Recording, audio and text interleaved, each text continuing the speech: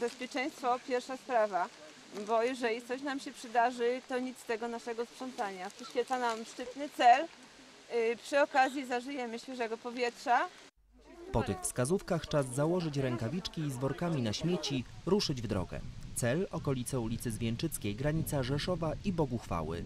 To ulubione miejsce wielu wędkarzy. Niestety, jak twierdzi Straż Rybacka, to właśnie oni zostawiają po sobie sterty śmieci.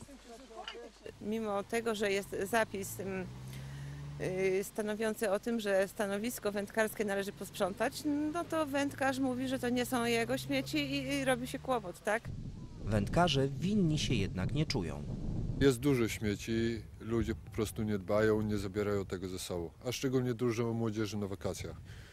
Wędkarze też? Jest to rzadkość.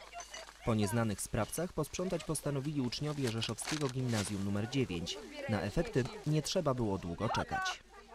Przede wszystkim butelki. Mm, Były to butelki szklane, e, różne, tak jak kolega z grilla, jakieś e, elementy, krzesła. E, Znaleźliśmy wi- wielkie ilości śmieci.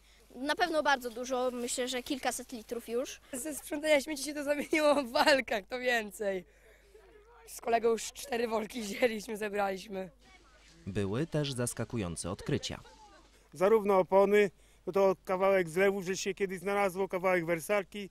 Także wszystko to, co jest niepotrzebne, zbędne w domu, Kilkugodzinna akcja zakończyła się sukcesem. Po pierwsze zniknęły śmieci, po drugie pojawiły się plany na kolejne podobne przedsięwzięcia, w tym sprzątanie całego Sanu oraz najbardziej zanieczyszczonych brzegów w Krośnie, Przemyślu i Tarnobrzegu.